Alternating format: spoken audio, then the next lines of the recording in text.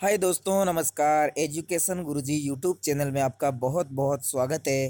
दोस्तों, आज हम हिंदी भाषा का जो ऑनलाइन टेस्ट है, वो करेंगे। उससे पहले, यदि अभी तक आपने हमारे यूट्यूब चैनल को सब्सक्राइब नहीं किया है तो प्लीज़ जल्द से जल्द सब्सक्राइब कर लें।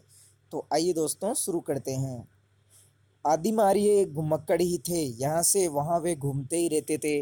घूमते भटकते हुए भारत पहुँचे थे। यदि घुमक्कड़ी का बाना उन्होंने ने धारण किया होता यदि वे एक स्थान पर ही रहते तो आज भारत में उनके वंशज न होते। भगवान बुद्ध गुम्मक्कड़ तथा भगवान महावीर गुम्मक्कड़ थे। वर्षा ऋतु के कुछ महीनों को छोड़कर एक स्थान में रहना बुद्ध के वश का नहीं था। पैंतीस वर्ष की आयु में उन्होंने बुद्धत्व प्राप्त किया। पैंतीस वर्ष से अस्सी वर्ष की आयु तक जब उनकी मृत्यु हुई, पैंतालीस वर्ष तक वे निरंतर घूमते ही रहे। अपने आप को समाज सेवा और धर्म प्रचार में लगाए रखा। अपने शिष्यों से उन्होंने कहा था, शरत भिक्कने चारिक, हे भिक्षुओं घुमक्कड़ी करो। यद्यपि बुद्ध कभी भारत के बाहर नहीं गए, किंतु उनके शिष्यों ने उनके वचनों को सिर आँखों पर लिया और पूर्व में जापान, उत्तर में मंगोलिया, पश्चिम में मकदूनिया और दक्षिण में बाली द्वीप तक दावा मारा। श्रावण महावीर ने स्वच्छंद विचरण के लिए अपने वस्त्रों तक को त्याग दिया। दिशाओं को उन्होंने अपना अंबर बना लिया, वैशाली जन्म लिया, पावा में शरीर त्याग दिया। जीवन पर्यंत घूमते रहे। मानव के कल्याण के लिए, मानवों के रहा प्रदर्शन के लिए और शंकराचार्य बाहर वर्ष की अवस्था में संन्यास लेकर कभी केरल, कभी मिथिला, कभी कश्मीर और कभी बद्री का आश्रम में घूमते रहे। कन्याकुमारी से लेकर हिमालय तक समस्त भारत को अपना कर्म क्षेत्र समझा। सांस्कृतिक एकता के लिए, समन्वय के लिए, श्रुति धर्म की रक्षा के लिए शंकराचार्य के प्रयत्नों से ही वैदिक धर्म का उत्थान हो सका। अब आइए इसके क्वेश्चन आंसर देख लेते हैं। पहला है घुमक्कड़ शब्द का कौन सा प्रत्यय है? ए, अक्कड़, दो अड़े तीन अड़, चार कड़। दोस्तों, इसकी जो आंसर की है, मैं आपको लास्ट में बता दूँगा। अगला सवाल है, महावीर स्वामी का जन्म कहाँ हुआ था? ए पावापुरी, दो वैशाली, तीन कुशीनगर, चार पारसोली। अगला सवाल है, स्वच्छंद में कौन सी विधि है? एक विसर्ग, दो दीर्घ, तीन गुण, चार व्यंजन। अगला सवाल है, महात्मा बुद्ध ने जब बुद्धत्व प्राप्त किया, तब उनकी आयु कितनी थी? एक ग्यारह बारह वर्ष, दो पैंतीस वर्ष, तीन पैंतालीस वर्ष, चार अस्सी वर्ष। दोस्तों, इस पेपर का जो कॉपीराइट अधिकार है, वो परगण्य प्रकाशन के पास है। हम सिर्फ़ आपको उपलब्ध करवाने के लिए ये दे रहे हैं। इनमें हमारा कोई अधिकार नहीं है। अगला है, श्रुति धर्म का क्या अर्थ है? एक जैन धर्म, दो बौद्ध धर्म, तीन मुस्लिम धर्म, चार वैदिक धर्म। अगला सवाल है, अगला एक और पैराग्राफ है कि संस्कृति किसी दो मंजिला मकान की तरह होती है। पहली मंजिल पर एकदम मूलभूत मगर चिरंतर जीवन मूल्य होते हैं।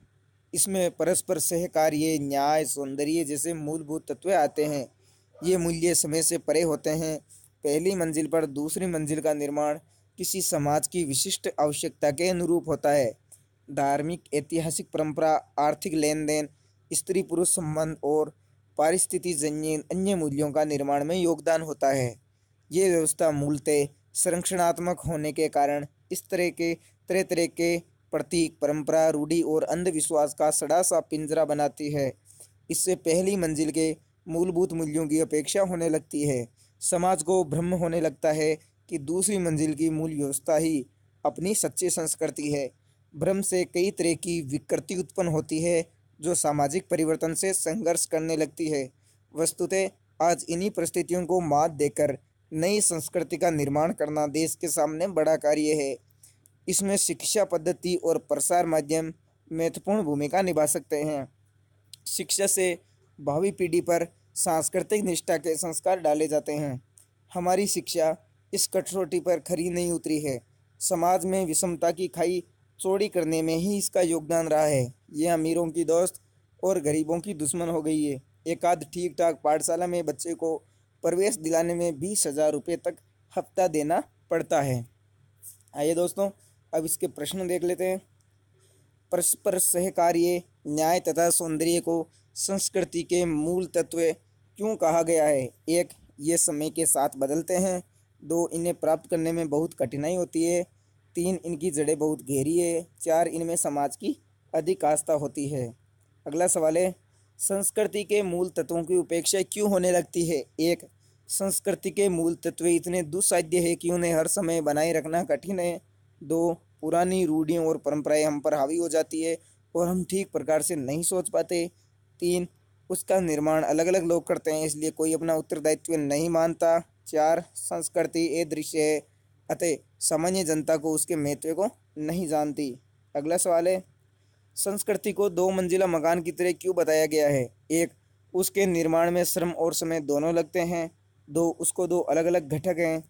तीन, उसका संबंध उच्च और निम्न वर्ग दोनों से हैं। चार, वे किसी भी राष्ट्र की दो स्थितियों को स्पष्ट करती है। अगला सवाल है, संस्कृति के पुनर्निर्माण में सबसे अधिक शाही कौन हो सकता है? एक, लोगों की दृढ़ इच्छा शक्ति दो, संस्कृति का सरलीकरण। तीन, शिक्षा पद्धति में बदलाव। चार, संस्कृति का सामान्य जनों में उचित प्रचार प्रसार। अगला सवाल है, शिक्षा पद्धति सफल क्यों नहीं हो रही है? एक वे अमीरों और गरीबों के बीच खाई चौड़ी कर रही है। दो, शिक्षा बहुत महँगी हो गई है। तीन, वे संस्कृति के प्रति पूज्य भाव के संस्कार नहीं डाल पा रही। चार, वे हर बार बदल दी जाती है। अगला सवाल है, वे खेल और पढ़ाई दोनों में अच्छा है। रचना की दृष्टि से ये किस प्रकार का वाक्य है?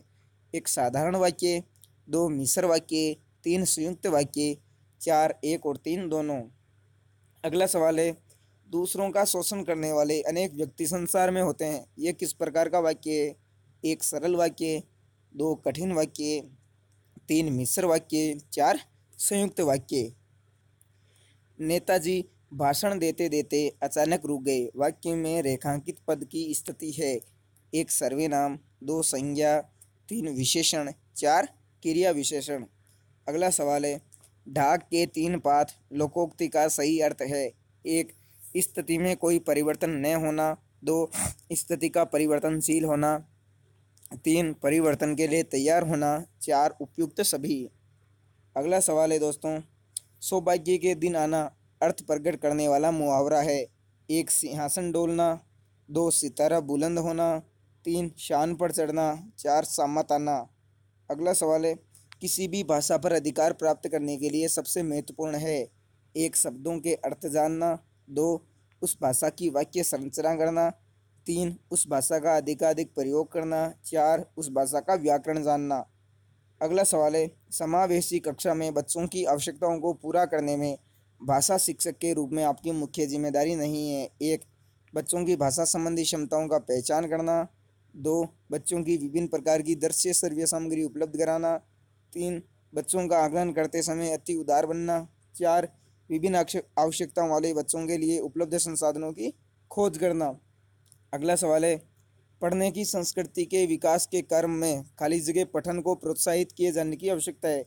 एक, व्यक्तिगत, दो से स्वर, तीन, मौन, चार, सामूहिक। अगला सवाल है, भाषा की पाठ्य पुस्तक में सबसे महत्वपूर्ण पक्ष है।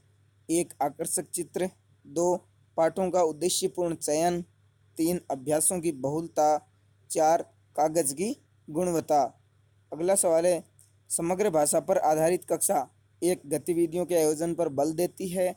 दो, बच्चों के भाषाई विकास की स्पष्ट समझ पर बल देती है। तीन, बाल साहित्य को पढ़कर सुनाने पर बल देती है। चार, सभी भाषाओं को सीखने पर बल देती है। अगला सवाल है, विद्यालय के बाहर का जीवन और वहाँ प्राप्त ज्ञान एवं अनुभव भाषा सीखने के लिए आवश्यक प्रेरणा देते हैं क्योंकि एक मानक वर्तनी का सम्यक ज्ञान मिलता है।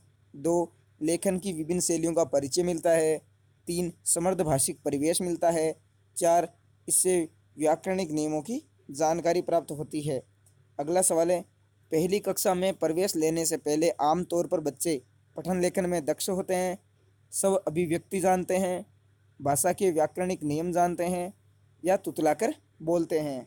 अगला सवाल है, सुरभि अक्सर डे वाले शब्दों को गलत तरीके से उच्चारित करती है। आप क्या करेंगे? उसे डे वाले शब्दों की सूची पढ़ने और लिखकर अभ्यास करने के लिए देंगे। दो, उसे डे वाले शब्दों की अपने पीछे पीछे दोहराने के लिए कहेंगे। तीन, उसे सहजता के साथ अपनी बात कहने के लिए प्रोत्साहित करेंगे। चार, उसे हड़े वाले शब्दों की सूचना पढ़ने एवं बोलकर अभ्यास कराने के लिए लेंगे। अगला सवाल है, प्राथमिक स्तर पर पढ़ने की क्षमता का आकलन करने की दृष्टि से सबसे अधिक महत्वपूर्ण है। एक, विराम चिन्हों का ज्ञान। दो, पढ़ने में प्रभाव तीन, अर्थ का निर्माण। चार, वर्णों का पहचान। अगला सवाल है, भाषा की कक्षा में कहानी सुनाने का मूल उद्देश्य है। एक, बच्चों की कल्पना शक्ति का विकास। दो, बच्चों में सुनकर दोहराने की आदत का विकास।